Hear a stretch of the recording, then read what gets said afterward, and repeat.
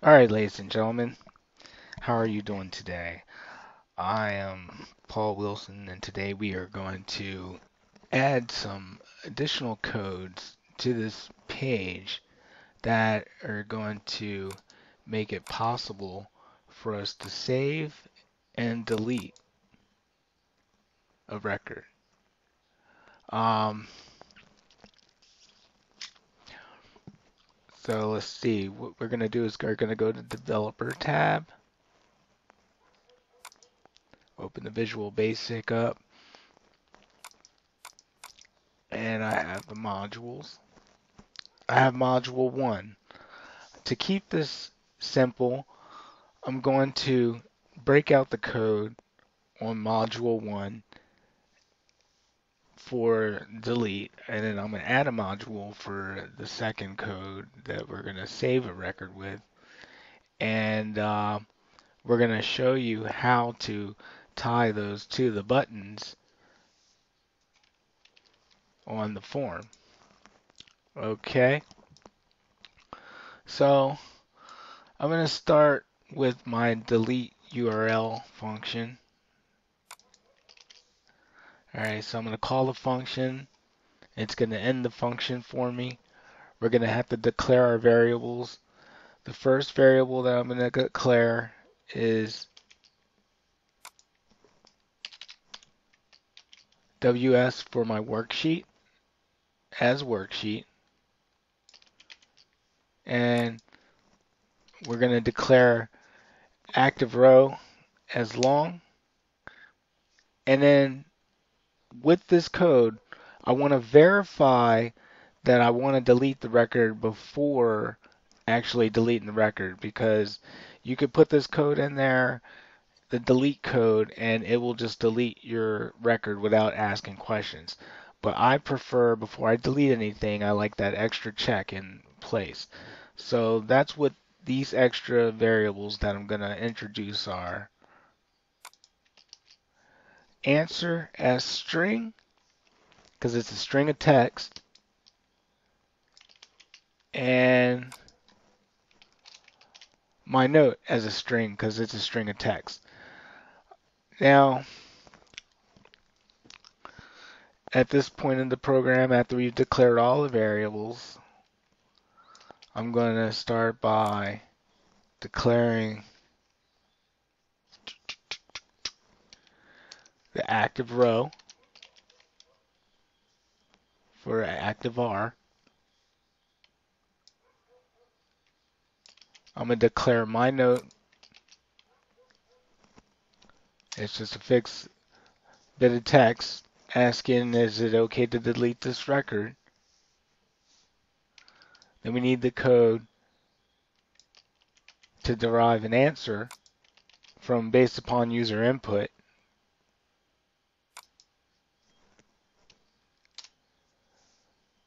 Okay.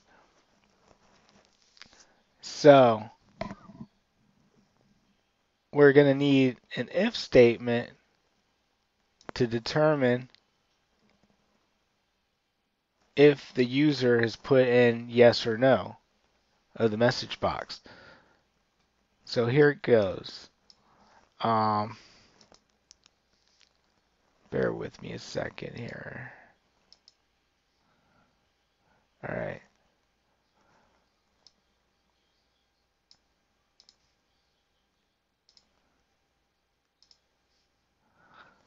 All right, so what we're going to need is a function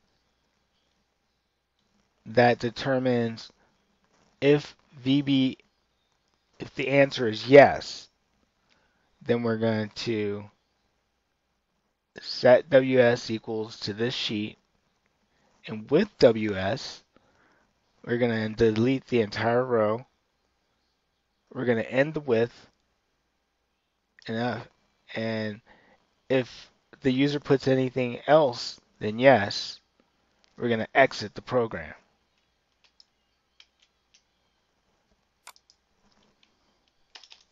So I'll put that in. Like I, I don't like typing much, but I did the typing on that earlier. So.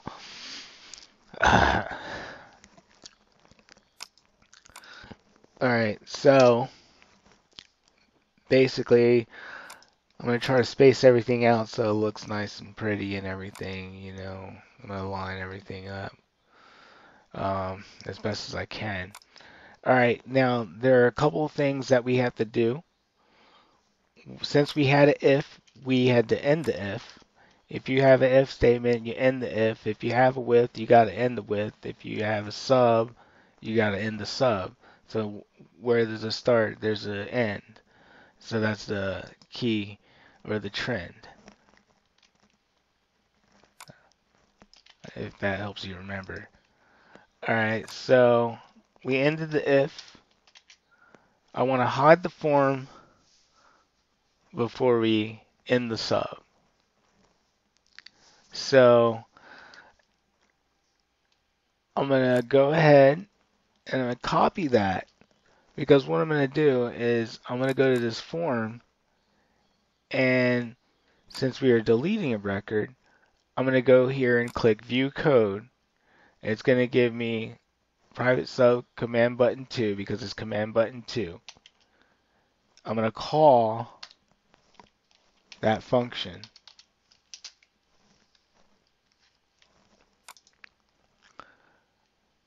And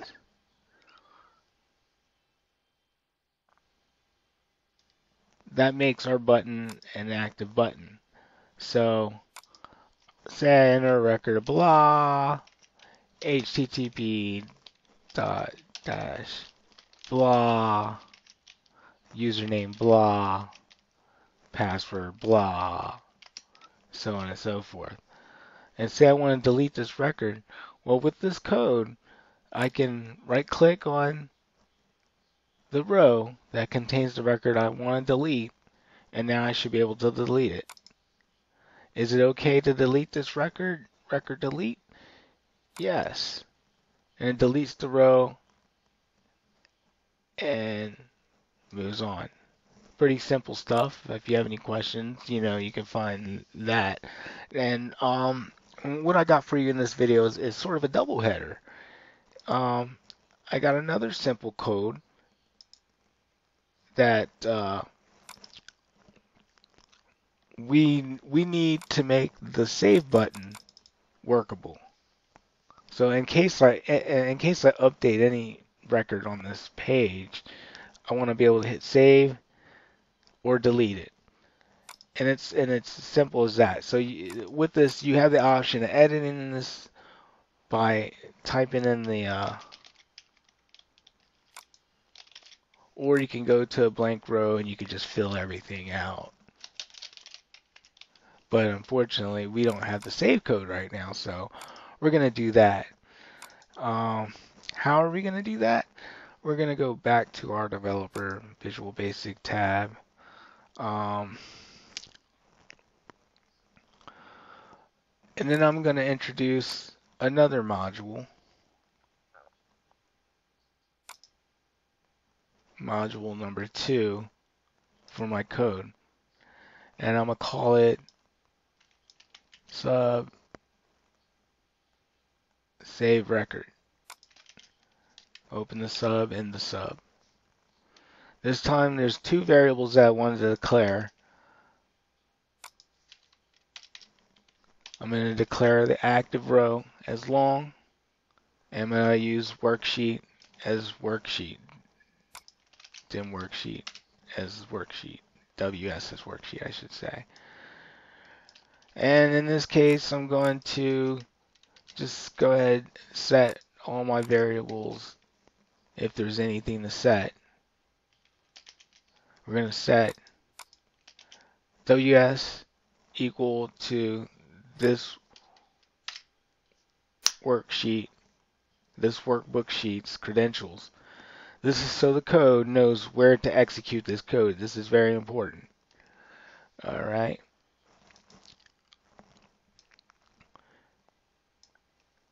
Now, we're going to use with WS. That means with this worksheet.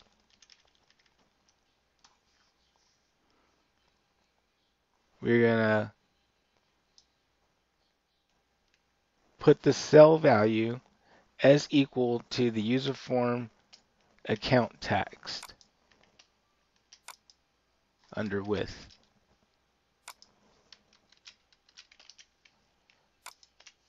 Okay.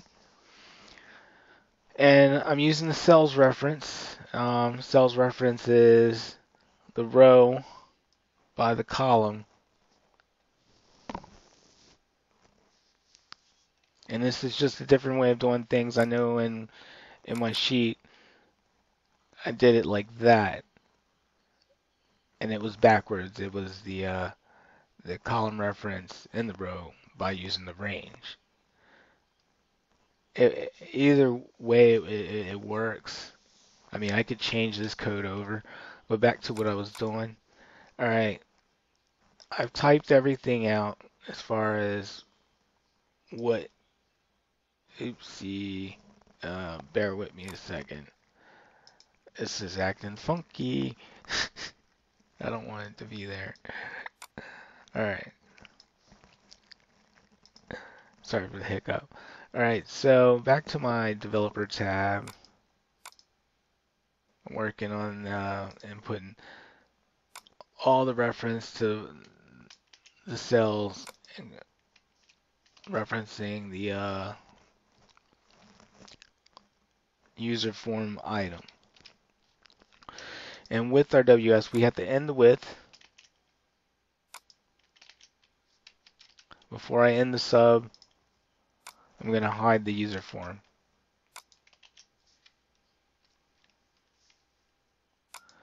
I'm going to indent and then that and then that and then that and then that and that. Make it look nice and pretty. As pretty as I can make it look. But it, it, it helps because if you're going to troubleshoot your code, you can see what the different lines do. So now I'm ready to save a record. So say that um, this works for if I want to edit, update a record, or like, you know, just make any alterations. HTTP dot dash dash. Um, whatever. Username. Password. Security question one.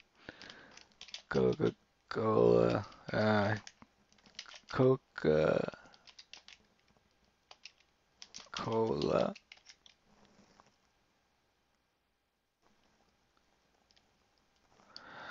and so on and so forth. I'll just put test one, test three, test two,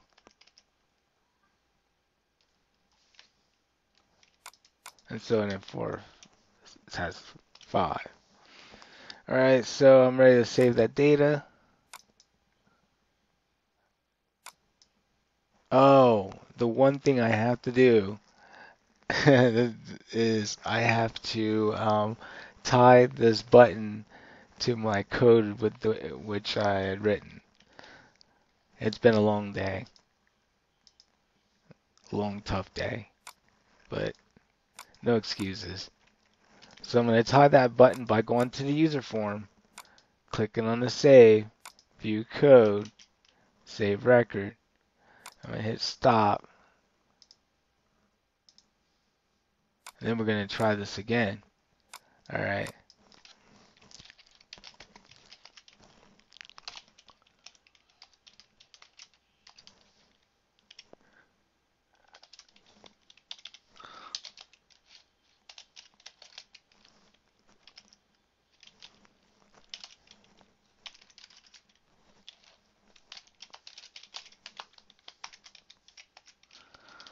Um, and I'm going to put, you know, one, test, two, test. Oh, and I got to work on the tab codes. We'll cover that in another video.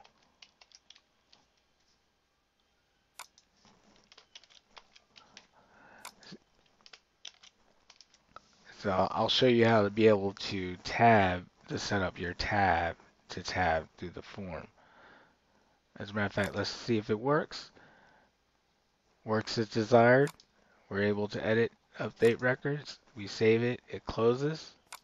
Now I'm going to delete the record. Do you want to delete this record? Yes, I want to delete this record. Record gone. And I also locked out, I want to show you one more thing that I did. I don't know if I showed it before, but on the first code that I wrote in first part one, I added an if and then statement stating that if active row is 1 or 2, meaning that when I go back to the sheet, if it's 1 or 2, the, the code will not work. Reason being is we do not want to mess up the header of the sheet. Um, and that's really all I got for you is today. Um, if you have any questions, feel free to leave a comment. And then on the website, I'll put the codes and uh, put a link to the spreadsheet, and you could work with it on your own time or whatever have you. Um, and also, be sure if you feel that you benefited from this content, uh, subscribe to my channel, like the video, share the video, and comment below. Appreciate it. Thank you, and have a great day.